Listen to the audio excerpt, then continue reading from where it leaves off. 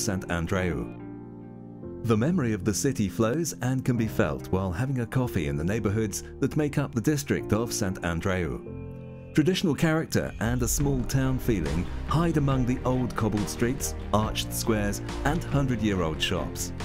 The streets hide Roman remains, and you can find farmhouses that remind us of the area's rural past, of towns that became urban centres, ending up as part of the large city of Barcelona today. However, it also has an industrial past, which has been transformed into parks and cultural centres for the city.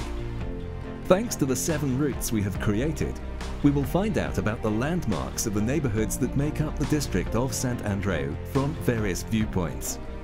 A walk through the old town of Sant Andreu will encompass its old streets with examples of modernist architecture and old factories.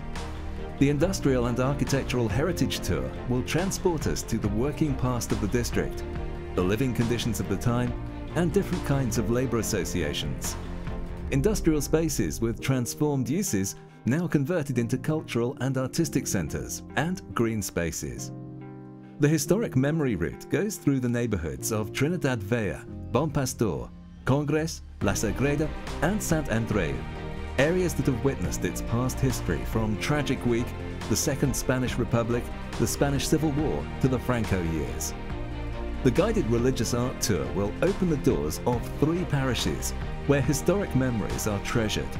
Paintings from inside their walls will be shown, as will magnificent bordered mosaics and geometric friezes on the paving, the work of a young Antoni Gaudi. If you would like to find out more about the unique commercial premises in Sant Andreu, we would suggest going on a guided tour when you could go into the historic establishments of the neighbourhood and hear stories from the actual people involved.